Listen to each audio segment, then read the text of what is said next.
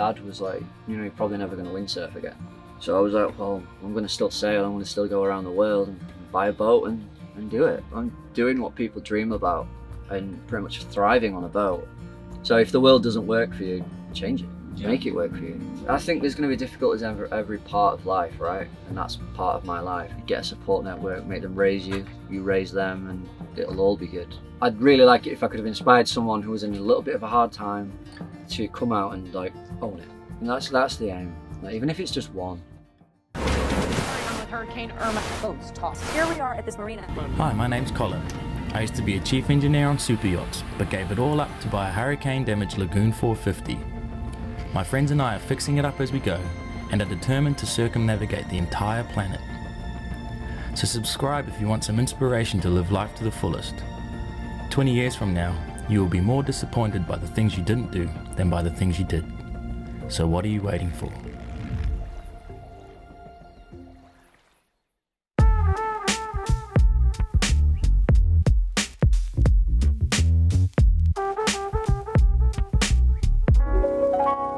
Okay, guys.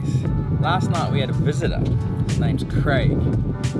He came to the boat. He initially wanted some advice um, on some gel coat work that he's trying to do on his boat. But he ended up staying for the whole evening. We had a bunch of beers and we uh, got to know him. And he has one of the most inspirational stories I've heard in a very long time. And he asked if he could tell our story to you guys. And I said 100%. So we're on our way to his boat now. He said we can just raft up to him. He's got an Oceanis 46, a Beneteau. And uh, let's go meet Craig. Get ready guys, this is really inspirational. Permission to come aboard, sir. Yeah, jump on. What's happening, brother? Not much, not much. Just looking through some old photos. Oh yeah? Realise how like how much changed.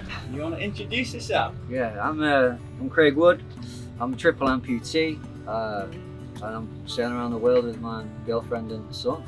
When I was 18, I was uh, in the military, in the infantry in the army in, in Britain, and I got sent over to Afghanistan, April 2009.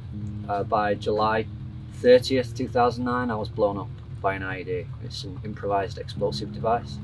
Nobody died, only I got injured. In my platoon there was 30 of us. In my section there was eight. We were on a little dirt track and I remember that we all just took a knee just get some water in us. And then as we set off again, I must have got about 10 steps in and I saw a white flash and just like a really heavy landing. And then my friend like running back to me shouting my name and that's that's it, that's all I can remember. I, I had such a massive trauma to the face, to the body, you know, it's um it's a lot, right? So yeah, they just stop you freaking out and lashing out and dying essentially, they just put you in a comatose state. When I was in hospital, um I like in the ICU and I'd just come round, and my dad was like, you know, you're probably never gonna windsurf again. And I was like, I was gonna start crying my eyes out, why would you say that to me? Um, but then the day after he came in, he came in with like a, an email address for the development coach, Paralympic development coach for sailing, and he's like, maybe they'll, you know, maybe they'll like want to take you on or whatever. And I went down, like, in a cold November, you know, 30 knots, weekend, um, and it was fantastic. Put me in front of a VSR, uh, which is just a rib, um, on my wheelchair, just no jacket, just. And uh, yeah, that was it. I, I, fell in love with the sailing element there. I became a professional sailor in 2012. Um, and then in 2016, we didn't make the, uh, the Paralympics. And we knew that 2020 wouldn't be a thing because there's no Paralympic sailing in the Paralympics anymore. There's not enough worldwide participation. So I was like, well, I'm going to still sail. I'm going to still go around the world and, and buy a boat and, and do it. Yeah. Yeah, so I had a blind guy, um, Liam Cattermole. He's like blind world champion several times over. Wow. Um, yeah, I remember him telling me once that uh, they're that good that other boats are telling them to leave them alone. And they're match racing. You can't leave them alone, that's part of it. And yeah, they just shouting, leave us alone. This is like, that's when you know you're good. Yeah. But yeah, that's that's really cool. He has like 10% vision the way he describes it is if you look down a straw, and that's his whole field of view, and that's all he can do. And when it's dark, he's blind. And the other guy was an, a double amputee, uh, Steve Palmer. He was engineer in the military. Okay. Um, he got blown up as well. So we, we met in Headley Court, and then he was like, "So we put a team together?" And it's like, "Yeah, yeah, let's do it." We did all right. We got to about eighth in the world. Um, it was out of like 14, um, but still, yeah, eighth in the world. Uh, All right. So then, um, and then you bought this boat. no, I bought a Colvic Victor. This is a 40 foot ketch. It's a motor sailor. So I bought that boat and I basically motored it all the way to Greece. It didn't really sail very well. And then I got so annoyed on it. By that time, I knew exactly what I wanted out of a boat. Basically, as soon as I stepped on this, yeah, I'll take it. What are some of the difficulties with sailing, sailing a boat? Um, mostly going down below, and and the other things are that like they're the really nitty gritty two handed jobs. I'll say shackles for example. It's Yeah. a very good one. You usually have to do it two handed. Hold the shackle, put it in. I do it one handed. Yeah. Um, and tying knots. Some people can't tie bowlines to save their life. I do it all one handed. I think there's going to be difficulties in every, part of life, right? And that's part of my life. If I go away from sailing, I'm still going to have difficulties. It doesn't matter. So I may as well do it to ones that I like. You started this trip alone, right? Oh yeah, on this boat I started on my own. Yeah, Yeah. yeah, yeah. And then you found love. yeah, I'm solo sailing from Sicily to Barcelona. Picked up one guy in Barcelona, Yeah. took him down to um, Gibraltar, and I was like, I think I think I'm gonna get a, like a load of randomness on the boat. I think, and every single day they'd come, they'd come past, big backpacks on, and they're like, look, I'm not going yet. I've got no rigging. I, I don't know when I'm gonna leave. But if you want to come on the boat and I'll teach you, you know, how to tie a knot or whatever Yeah. if you don't know anything, then yeah, feel free. So my boat became like this um, hub for all, all the backpackers. Yeah. I even think they were bringing food, cooking, stuff like that. I was like, this is really cool. I had about eight Germans on at one point, just in the marina, just you know helping them out. And then Renata was part of that. I, I really liked it straight away. Yeah. Um, and then you get to know her and get to know her, and she's like a proper hard ass. We've just had a baby. Well, he's a year old, but we've had a baby. Uh, he was born in the boat, bottom of the companionway steps. Um, yeah, it's called Amaru, which is uh, Mapuche, Chilean. When he was born, it started raining, and rain is Amaru in Mapuche. Gotcha. So it, it has to be, right? It's just too nice. So yeah, he's called Amaru. A big part of it is I'm I'm doing what people dream about, and you know I'm I'm not really struggling. Like I'm pretty much thriving on a boat. I'm triple amputee. I think if anybody's in a bad way or or can take inspiration from my story to motivate them to do something good for their life, I think that message needs to get across. It could really help someone. When I first came round out of the coma, my mum basically uh, was really harsh, like really tough. yeah. Um, I'm laid on a bed. I couldn't speak because they had the tracheostomy and they put this like plug in so you can speak. My mum's got like this this uh, alphabet, just pointing at every letters on the alphabet, and I'm like, can I have a drink instead of just saying drink? So I'm doing everything the wrong way and the long way and learning. But I saw some guys walk in. I was like, why are they walking into ICU? Like, and she saw it in my eyes. She's like, Craig, like, nope, I'm gonna, I'm gonna cry my tits off. So I did. I had an absolute roar of a cry, like six hour cry. And then she goes out, she's upset that she doesn't know how I'm to get out of that rut. Right.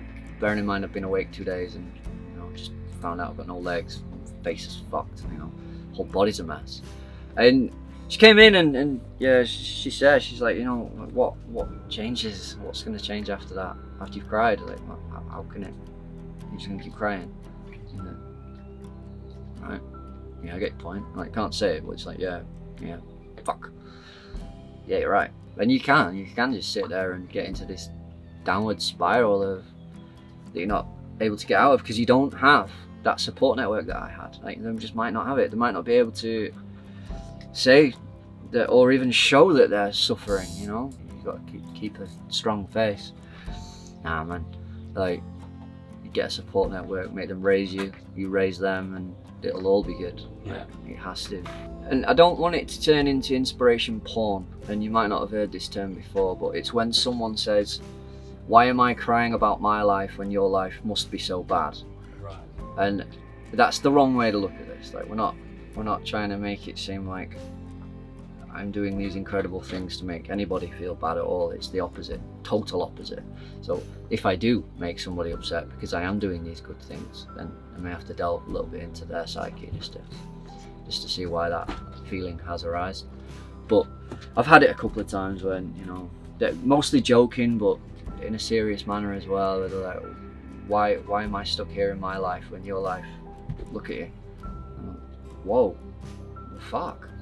Like, sorry, I got myself out of a rut and did something. Yeah. Like, yeah, that's the point, though, isn't it? Like, you're doing something and I'm not, and you, know, you end up making them feel bad because you've done this. You're doing these great things. You're like, shit, man. Yeah. Well, then let's do it. Like, what do we need to work at to get you to this level? And I'm like, okay. You know, action breeds action, right? If you don't like your job, quit your job. Get a new job. Like, it sounds easy. It does.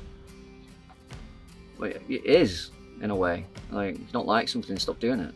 Start small. Um, do things that you are comfortable with. I know there are quite a few people who really like to push themselves out of their comfort zone.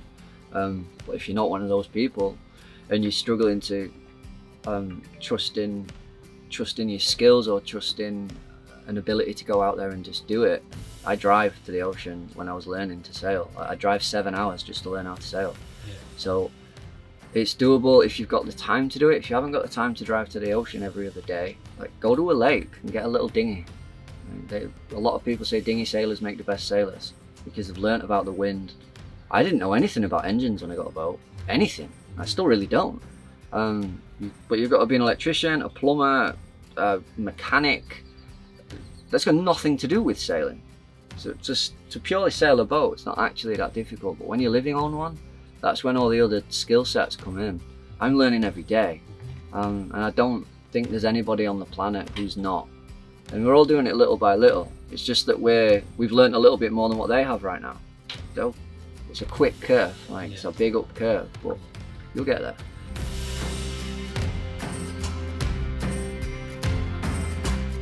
Were there moments when you wanted to give up? Uh, there was one, and it was when I was solo sailing from Ecuador to Panama, and there was no wind, and I got a bit. You can actually see it on one of some of the videos. I'm like, started my trip officially. I'm happy to be sailing again. And by like day four, I've gone 50 miles, and I'm like, um, it's going to take me about four years to get there. It rains a lot, sunny a lot, it's windy not very often.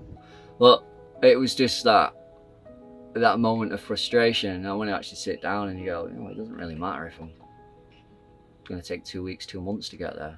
I'm going to get there still. The boat's fine. You know, everything's good. I can't use the disability as the excuse to quit anything. Yeah. Um, I play ukulele still. Sunday morning rain is falling. I can't play guitar anymore. I don't know what that is. I just can't do the guitar anymore. I can't do it all. But the ukulele, I was like, I've never played it. Tiny little thing. I was like, yeah, this is great. Yeah. You know, um, I know there are some things that I probably can't do. I've done kite surfing. Yeah, I went. Uh, Renata came in Patagonia. We're in Puerto Williams, like the most southern village on the planet, and um, she's like, "Do you want to go horse riding?" Like, yeah, yeah, why not? I was like, "Do I need anything?" She's like, I, "I don't know. I didn't think you were going to say yeah." Okay, let's go. Let's go horse riding. So we did, and the guys there were like, uh, yeah, yeah, just sit on it and we'll be fine. So I was. There's some things that are very difficult that sometimes I don't want to do. So, for example, there's we've got shades that run off the boom, and I put one. I put one clip on, but you've got to like open the clip, slide the slide a um, piece of strapping through and close it. Cannot physically do that. Actually, cannot do it. So that's okay. I know that. I just don't put that side down right now, and I'm going to change it so it's something I can do. So if the world doesn't work for you, fucking change it. Like, make it, Yeah. make it work for you. I'd like to be able to one day meet a a person traveling and then go, you know what, your words really helped me out of the rut. I'd really like it if I could have inspired someone who was in a little bit of a hard time to come out and like own it. You know, I, I think that doing that for somebody's got to be like one of the best feelings on the planet, right? Really helping someone, because the monetary thing is nothing. Like you can give someone money, it might not really help. You might not have the right mindset to use it wisely. but helping them like in their physical like being, yeah, that that's big. Like that's a real big deal, and that's that's the aim. Like, even if it's just one, even if it's after I've died and someone said it to my kid or whatever, be like, I think it's just that's that's just the aim. That's beautiful, man. Thank you so much Oh, for sharing cheers. your story, bro. Yeah. I'll put a link in the description below Yeah. so that people can follow you Thank you. and uh, continue to watch your journey because it's very inspirational. And uh, I'll also put his Instagram link below. And I'm trying to encourage him to do more social media stuff because it's so cool and it's so inspiring. I think you're right. I think you're right. I'm gonna do it. We're gonna do it. so good meeting you, my man. Same to you. Take care of yourself. Yeah. Keep in touch. Yeah. Let us know how you're getting on. I'll try. See you later, brother. Later. All the best. And you've done a damn good job with the phone. Thanks, man. There you go, guys. I hope you enjoyed that. I feel like it's a very touching story. Our main focus is to inspire people and, and, and motivate people. And when he asked to share his story, how could we not share that? You know, people tell us that our story is inspirational, but that is just next level. And um, to be able to tell that story for you guys just now um, was a real pleasure.